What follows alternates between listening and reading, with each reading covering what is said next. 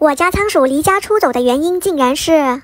那天早上起来，打算给他们加粮食，突然发现仔仔笼子的门被打开了。我看了一圈，它根本就不在里面，我就开始慌了，它到底去哪了？就在这个时候，被我发现它居然爬上去找小母鼠了。为了防止它继续出来搞破坏，那今天就给它换一个想逃也逃不掉的笼子吧。先来一个全透明的底盘，为了方便观察它的一举一动。再来一包炎炎夏天要用的垫料大颗木粒。最近广东已经步入夏天，我都开始穿短袖了，所以之前的纸棉就不能再用了。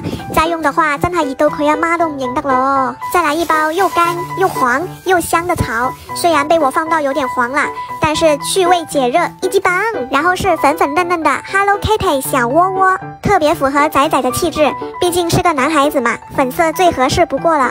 然后是全透明的 WC 云的厕所，放上尿沙，无论它在里面干嘛，我都可以看得一清二楚了。我还给它找了两只超可爱的小仓鼠，放在屋子的旁边，这样它就不会孤独啦，也不会出去找小母鼠啦。